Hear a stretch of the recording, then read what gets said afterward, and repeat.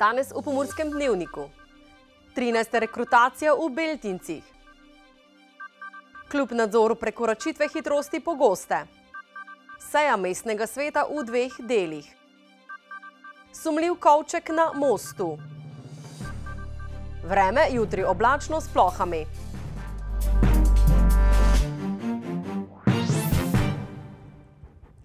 Drage gledalke, cenjeni gledalci, lepo pozdravljeni iz studija TV Ideja.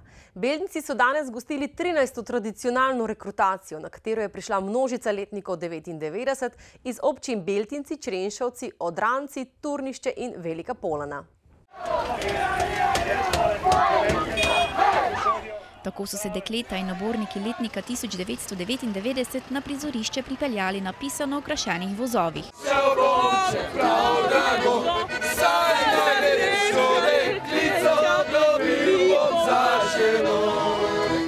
Ja, tako so peli in veselo nazdravljali mladi. Leto so nas seznanitev z vojaško dolžnostjo ob vpisu v vojaško evidenco povabili preko 100 fantov in deklet. Letos je največja skupina, letos je nekje 105 fantov in lahko računamo, da nekaj več še deklet poleg.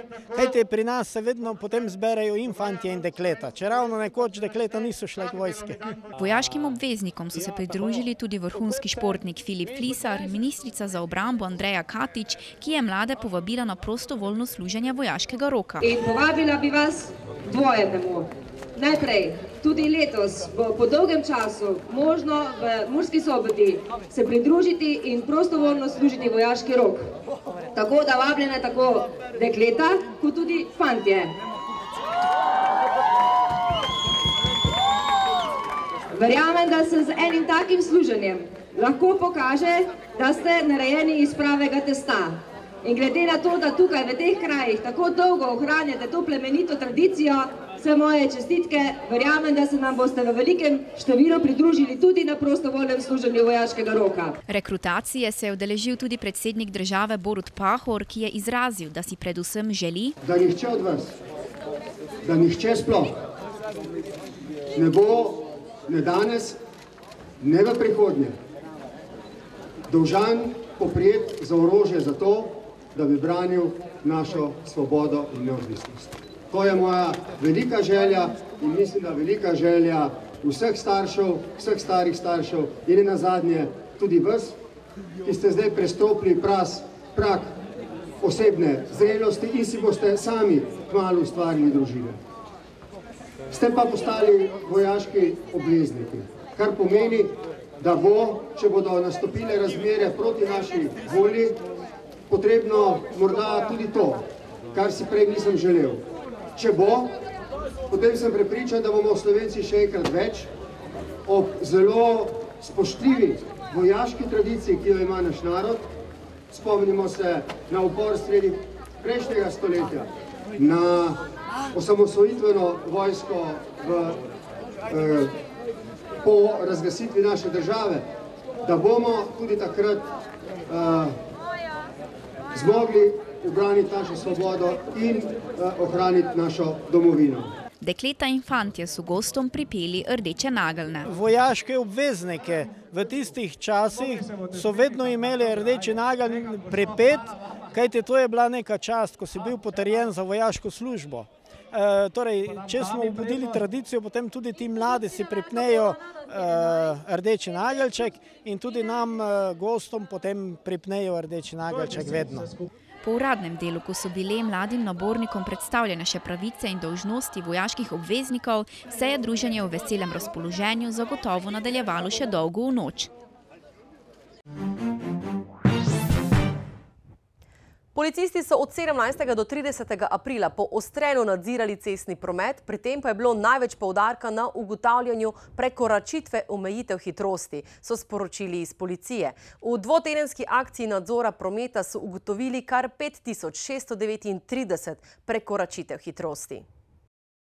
V dvotedenskem obdobju nadzora cestnega prometa se je slovenska policija pridružila policistom iz 24 evropskih držav, v katerih je prav tako potekal nadzor. Slovenski policisti so svoje aktivnosti najbolj intenzivirali z maratonom nadzora hitrosti. Ta je potekal 19. aprila. Evropsko usklajena akcija SPEED je sicer potekala med 17. in 23. aprilom. Največ prekoračitve so ugotovili v naseljih in sicer teh je bilo 3710.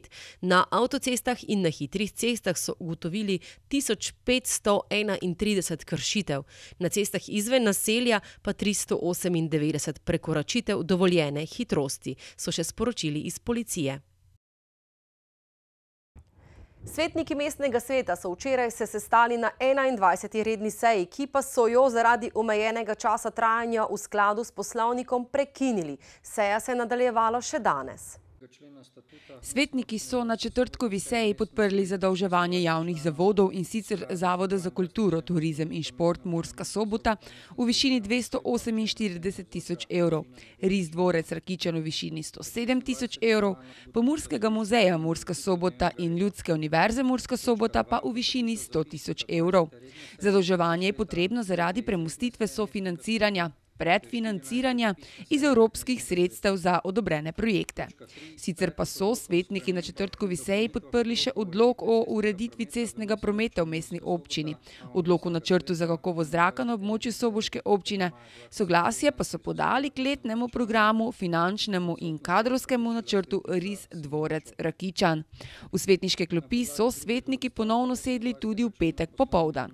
Sejo mestnega sveta si lahko v celoti ugledate ob 21. 21.45 na TV Ideja. Vsak petek za vas izberemo nekaj prostih delovnih mest, ki jih lahko najdete tudi na spletnem portalu Zavoda za zaposlovanje. Če je vaša velika želja živeti in delati v slogu z naravo, ter imate izobrazbo z področja biologije in biokemije, vas idealna priložnost čaka v Krajinskem parku Goričko, kjer zaposlitev ponujajo naravovarstvenemu nadzorniku. Pridružite se lahko tudi ekipi Splošne bolnišnice Murska sobota. V svoje vrste namreč vabijo pomočnika direktorja za področje zdravstvene nege in pomočnika direktorja za poslovne zadeve. Na Ljudski univerzi Murska sobota medtem potrebujejo pomoč pri številkah, zato k sodelovanju vabijo računovodjo. Svoje vrsten izziv gotovo predstavlja tudi priprava in izvedba turističnih prireditev oziroma projektov. Kot samostojni strokovni sodelavec se lahko dokažete na Zavodu za turizem in razvoj Lendava. Morda pa vas zaposlitev čaka v Štajerski prestolnici.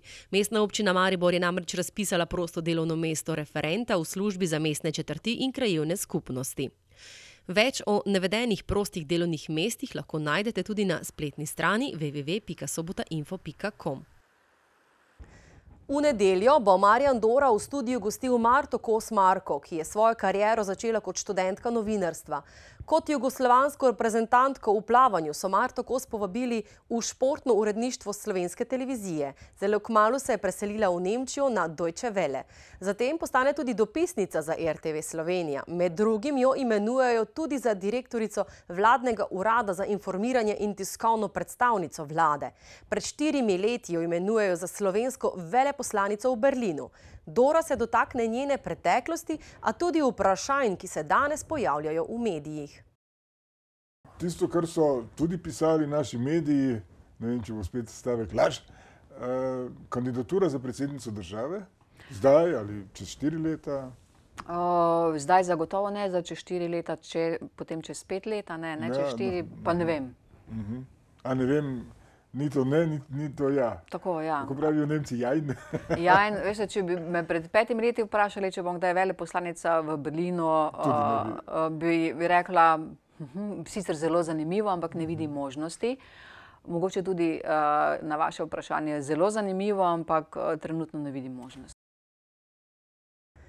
Oddaja Dora bo na sporedu v nedeljo ob 18. uri.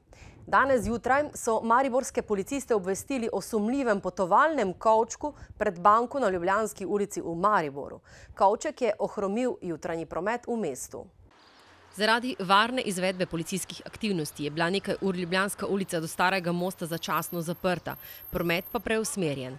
Kraj, kjer je bil sumljiv kavček, so policisti zavarovali do prihoda bombnega tehnika, ta je kavček razstrelil, pri čimer je bilo ugotovljeno, da je bil kavček prazen. Preiskava še poteka, policisti pa, glede na to, da je v bližini avtobusna postaja, sklepajo, da je kavček nekdo tam pozabil.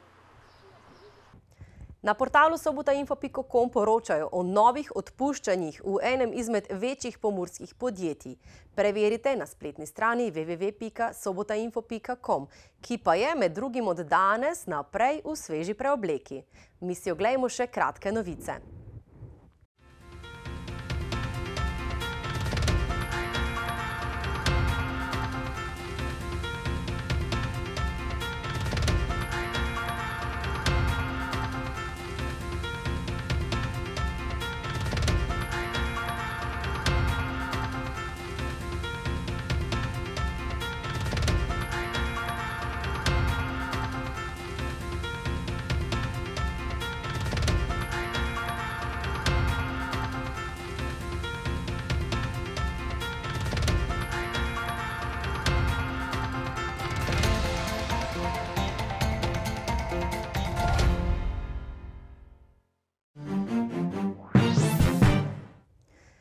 Tudi jutri nas čaka pisano vreme, od megle, sonca do deževnega popoldneva. Preverimo napoved.